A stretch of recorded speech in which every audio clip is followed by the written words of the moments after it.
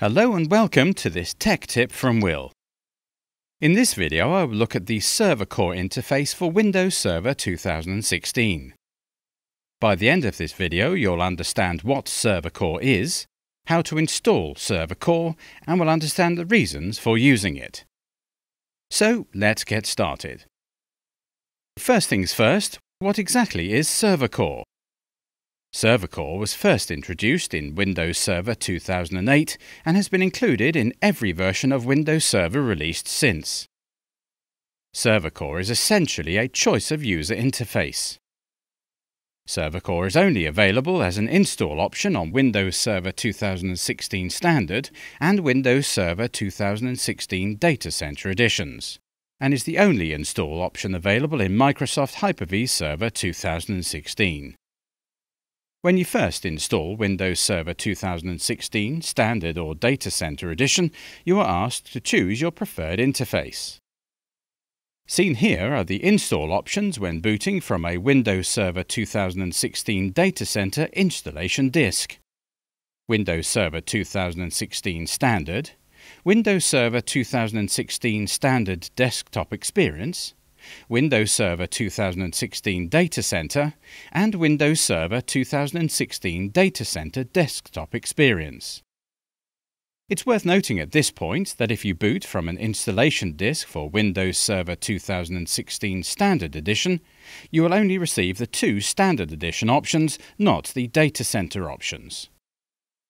Although not at all obvious, if you were to select either Windows Server 2016 Standard or Windows Server 2016 Data Center as your choice of interface, you'll receive what is called a Server Core interface. Whereas if you were to select either Windows Server 2016 Standard Desktop Experience or Windows Server 2016 Data Center Desktop Experience, you'll receive the Desktop Experience interface instead. This is all very well, but what exactly is the difference between these interface types? When you install Windows Server 2016 with a Server Core interface, you essentially receive a black screen with a command prompt window like the one seen here. With Server Core, if you log onto the server locally, all administration of the server is done via the command prompt and by using Windows PowerShell. There are virtually no graphical tools available no desktop, no taskbar, no start menu, and no server manager. To use these graphical tools, you'll have to install the Desktop Experience interface instead. When you install the Desktop Experience interface, you get the regular look and feel of a Windows server and will receive a traditional desktop, start menu and file explorer.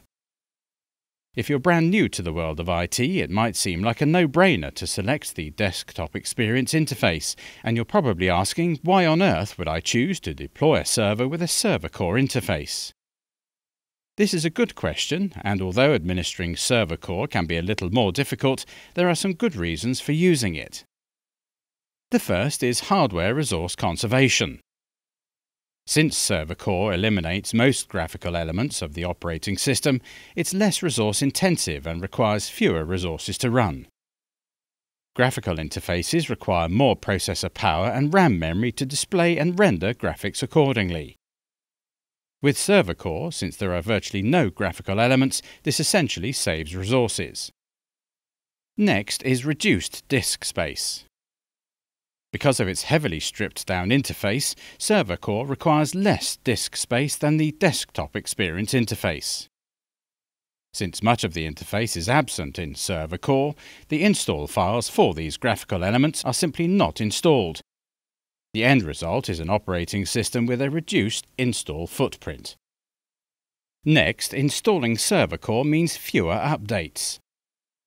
According to Microsoft, the graphical interface of Windows Server 2016 is one of the most frequently patched features of the operating system. Running Server Core means fewer graphical elements. Fewer graphical elements means fewer updates, and fewer updates means fewer server restarts and less downtime. And finally, Server Core has a reduced attack surface. Since the operating system is heavily stripped down in server core, there's effectively less software running on the server. The less software running on the server, the fewer security holes there are for an attacker to exploit. Or, to put it another way, by choosing server core, you're effectively making your server more secure. One very important point I'd like to make is that when installing Windows Server 2016, you should choose your preferred interface very carefully. With Windows Server 2016, it's not possible to change your server's interface later on. That is, you cannot take a server running Server Core and change its interface to a desktop experience interface. Likewise, a server with a desktop experience interface cannot be changed to a server core interface. With Windows Server 2012 and Windows Server 2012 R2, it was possible for the administrator to change the interface if they really wanted to. However, with Windows Server 2016, this ability has been dropped. With Windows Server 2016, the only way to change the interface for your server is to completely reinstall the operating system. Now that we know what Server Core is and the reason for using it, I'll now change over to my bare metal server so that I can demonstrate how to install Windows Server 2016 in Server Core mode. On this server, I've inserted and have already booted to my Windows Server 2016 Data Center Edition installation media. Having booted into the media, I'm now being presented with the Windows Server 2016 installation wizard. If you've not yet seen our previous video performing a clean installation of Windows Server 2016, then I highly recommend that you do, since I cover each step to the installation wizard in a lot of detail. Rather than cover each step in detail a second time, I will skip through the first set of screens to the wizard until I reach the screen Select the operating system you want to install. From here I have four options to choose from, two for the Standard Edition and two for the Data Center Edition. If I were to select either Windows Server 2016 Standard or Windows Server 2016 Data Center, I will receive that edition of the operating system with a server core interface. Alternatively, if I were to select either of the desktop experience interfaces, I'd receive a full graphical interface complete with desktop, taskbar, start menu, etc. In this case, I will select the Windows Server 2016 Data Center option, will accept Microsoft's licensing terms, and will next my way to the end of the wizard. Windows Server 2016 Data Center Edition is now installing. Although server core installations are typically faster than desktop experience installations, they can still take a number of minutes to complete. So I'll fast forward to the end of this process so we don't have to wait. The installation is now complete and the server has rebooted. Notice though that when the server comes back up from its reboot, things don't quite look the same here.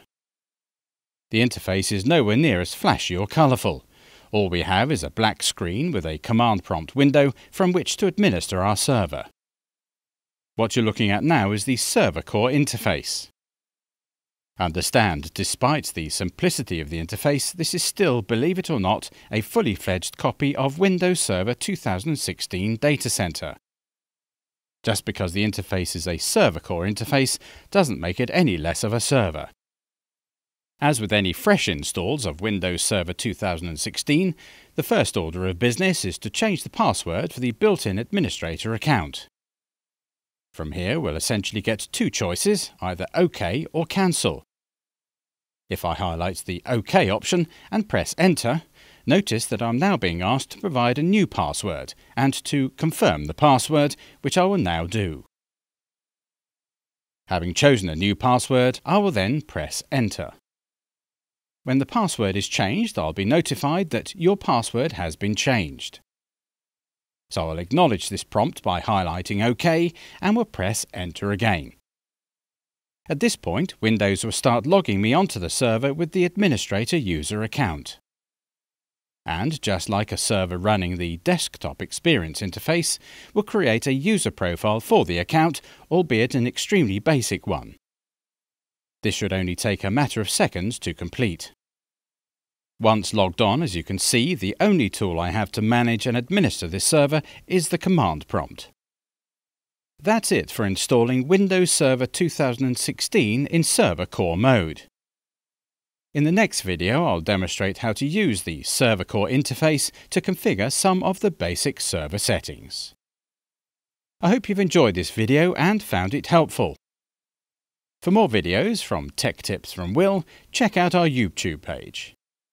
And if you enjoyed this video, be sure to like the video and subscribe to our channel. Many thanks, and we'll see you on the next Tech Tip.